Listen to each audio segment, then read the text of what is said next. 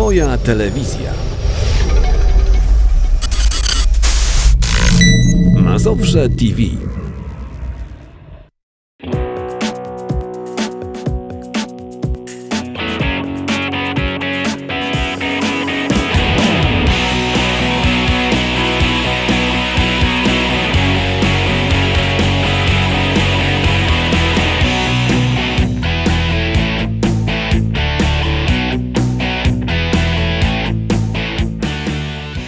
W niedzielne jesienne popołudnie, przy bezchmurnym niebie i temperaturze ponad 20 stopni Celsjusza, plac przed Urzędem Gminy Czosnów zapełnił się kilkusetkami biegaczy, którzy wzięli udział w czwartym biegu Orła. Bieg ten był wyjątkowy, ponieważ fundusze pochodzące między innymi z zakupionych pakietów startowych przeznaczone zostaną na cele charytatywne.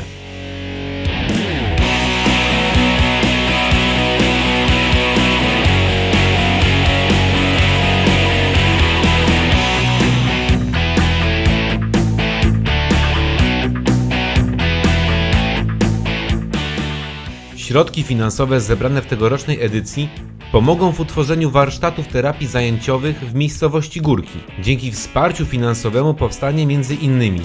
pracownia teatralna, rehabilitacyjna czy krawiecko-dziewiarska. Inicjatywa realizowana jest poprzez Fundację Akuku, której celem jest pomoc osobom zagrożonym wykluczeniem społecznym, w szczególności dzieciom i osobom niepełnosprawnym.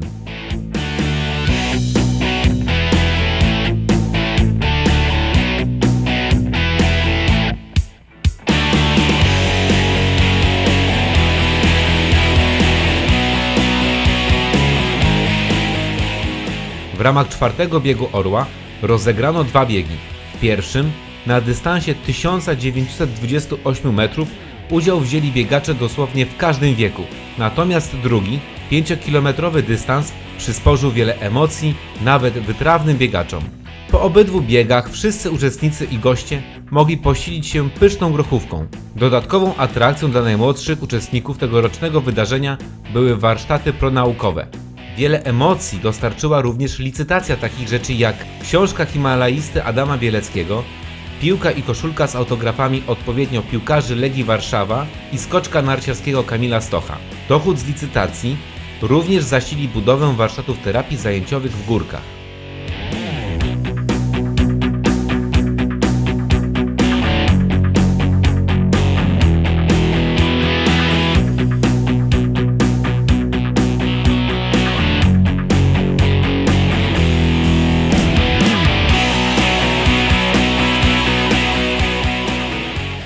Organizatorami czwartego biegu Orła byli Stowarzyszenie na Rzecz Rozwoju Sportu w Gminie Czosnów, Gmina Czosnów, Fundacja Akuku, 27. Czosnowski Szczep Drużyn Harcerskich i Gromad Zuchowych oraz firma Adamet.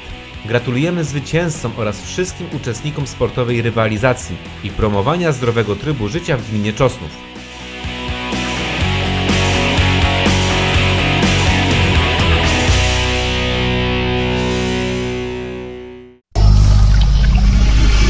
Twoja telewizja. Mazowsze TV.